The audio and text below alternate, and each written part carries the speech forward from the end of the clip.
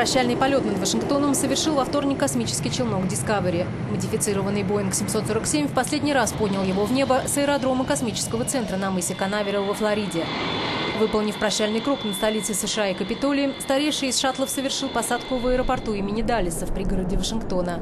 Отныне он будет выставлен здесь в филиале Национального музея аэронавтики.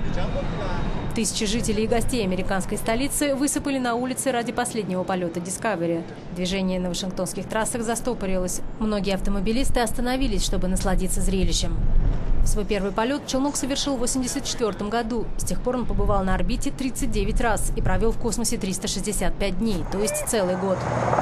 Последний раз Discovery стартовал с мыса Канаверал в феврале прошлого года. Через несколько месяцев после этого завершили космическую Одиссею два других челнока – Endeavour и Atlantis. Вскоре они тоже станут музейными экспонатами.